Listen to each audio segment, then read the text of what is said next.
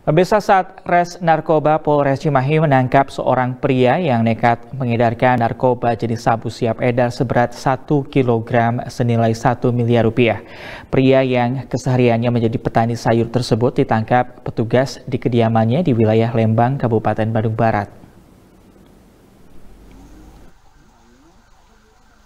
HT petani sayur asal Kecamatan Lembang, Kabupaten Bandung Barat ditangkap petugas Sat Narkoba Polres Cimahi di kediamannya akibat nekat mengedarkan narkoba jenis sabu siap edar seberat 1,1 kg yang bernilai 1 miliar rupiah.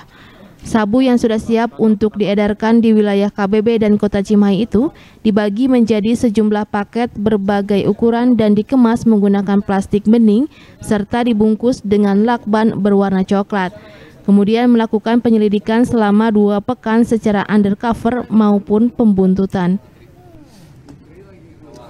Kapolres Cimahi AKBP Imron Ermawan mengatakan pengungkapan kasus ini berawal dari laporan masyarakat yang didapat oleh anggota Satres Narkoba.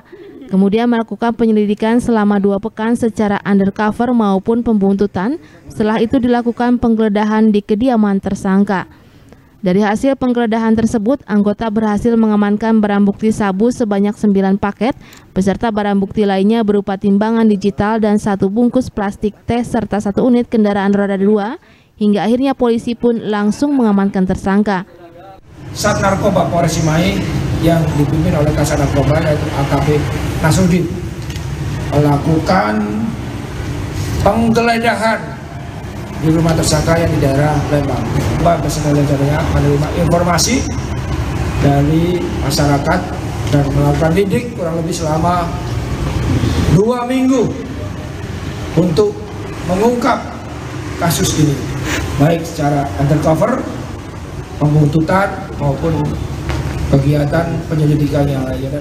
Atas perbuatannya tersangka dijerat dengan pasal 114 ayat 2 dan pasal 112 ayat 2 Undang-Undang Nomor 35 Tahun 2009 tentang narkotika dengan ancaman 5 tahun seumur hidup bahkan hukuman mati. Algi Muhammad Gifari, Bandung TV.